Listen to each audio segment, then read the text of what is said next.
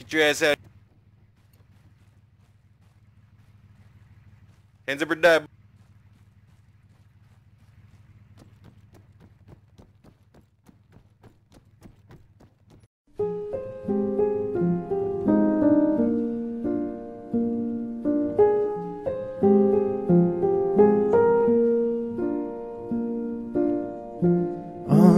Really, nigga?